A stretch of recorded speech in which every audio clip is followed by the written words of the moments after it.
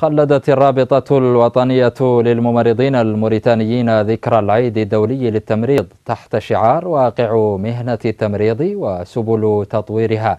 واستعرضت الرابطة خلال حفل التخليد المنظم في نواكشوط أبرز التحديات التي تعترض سبيل مهنة التمريض في موريتانيا. ومعنا في الاستوديو محمد لمين والبوي أحمد الأمين العام للرابطة الوطنية للممرضين الموريتانيين. أهلا وسهلا. بداية ما أبرز عن العوائق التي تعترض سبيل مهنة التمريض في موريتانيا وأنتم تخلدون ذكرى يومها العالمي. بسم الله الرحمن الرحيم وصلى الله على نبي الكريم. نشكر قناتكم المحترمة على هذه الساعة السانحة. من أبرز إجابة على سؤالكم من أبرز العوائق التي تعيق عملية التمريض والممرض اليوم في موريتانيا هي عائق التكوين. فالتمريض في موريتانيا ما زال دون المستوى المطلوب رغم الدور الكبير الذي يقدمه الممرضون. فالممرضون هم الذين يقومون بأكثر من 80% من خدمات المنظومه الصحية المتواجدة على الأرض.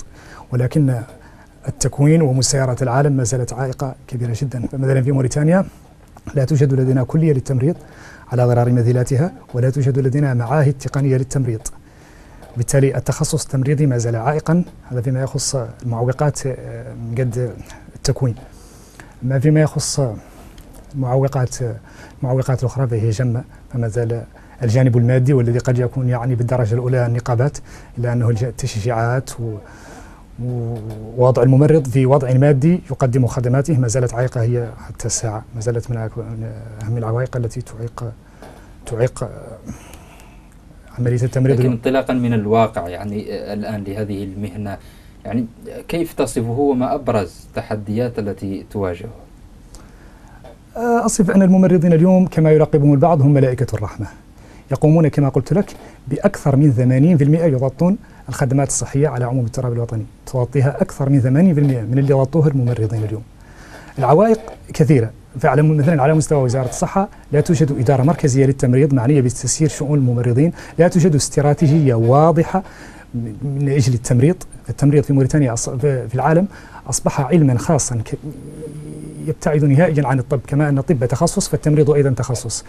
العلاجات التمريضية تخصص وتحتاج, وتحتاج تكوينات كثيرة جدا تحتاج وضع استراتيجية تحتاج إلى إرجاع مؤسسات التمريض إلى الممرضين. فمثلا حينما ترجع آه، إدارة مدارس الصحة إلى الممرضين وترجع وتكون هناك إدارة مركزية ويكون هناك أيام تشاورية حول علوم التمريض بإذن الله سترفع التحديات عن مهنة التمريض طيب هل تقدمتم خلال يعني هذا التخليد بأبرز مقترحات لتطوير هذه المهنة انطلاقا من العنوان الذي خلدتم تحته هذه الذكرى؟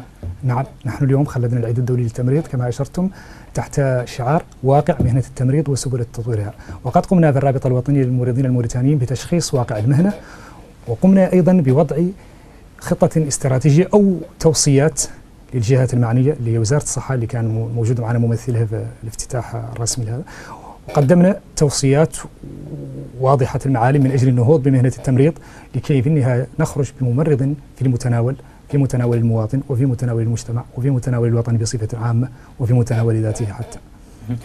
طيب عدا الجانب الأكاديمي آه، الذي ذكرت في البداية وأيضا الجانب المادي هل العنصر البشري التمريضي الموجود في موريتانيا هو كاف؟ برأيك؟ لا لا يكفي. رغم أن الممرضون الآن يناهزون أكثر من 4000 مكتتب بالوظيفة العمومية فما زال في السوق وتلك نقطة مهمة جدا في السوق الموريتاني اليوم من الممرضين ما يناهز الألف ممرض موجود في الساحة بدون اكتتاب. تكون في مدرسة الصحة العمومية وفق التكوين المهني المطلوب عالميا ولكنهم ما زالوا عاطلين ينافسون هم آه، الجميع في في في, في سوق البطالة.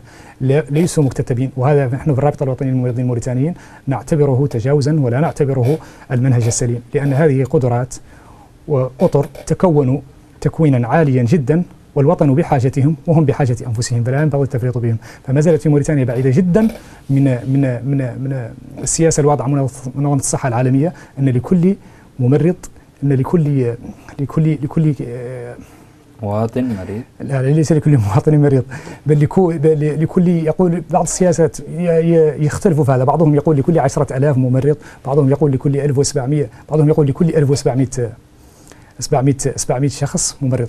ونحن ما زلنا بعيدين جدا إذا قمنا ب لأن الموجود قلت لك موريتانيا كاملة يقولوا على ان هذه 4000 زايدة. وفي نفس الوقت اللي فيها ياسر مرترت وفيها ياسر توفى وفيها ياسر 4000 لأزيد من 3 ملايين شخص. ازيد من 3 ملايين شخص. مغرقة على عموم التراب الوطني. في في في عادة ثانية. اليوم في تقليدنا للرابطة الوطنية للممرضين الموريتانيين نختاروا المواطن ونختاروا المجتمع بصفة عامة يعرفوا على أن قالوا علوم التمريض واللي قالوا الممرض على أن دورهم بارز في المنظومة الصحية. وعلى التمريض على أنه عنده رسالة نبيلة وعلى أن الناس تلقبوا ملائكة الرحمة. لماذا؟ لأنهم هم أول من يتلقى للمريض وهم آخر من يكون مع المريض في حالة خروجه إلى المستشفى. إذا محمد لمين والبوي أحمد الأمين العام للرابطة الوطنية للممرضين الموريتانيين. شكرا جزيلا لك.